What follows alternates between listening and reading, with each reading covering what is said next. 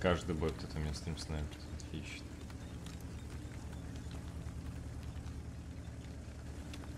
Привет, Вячеслав.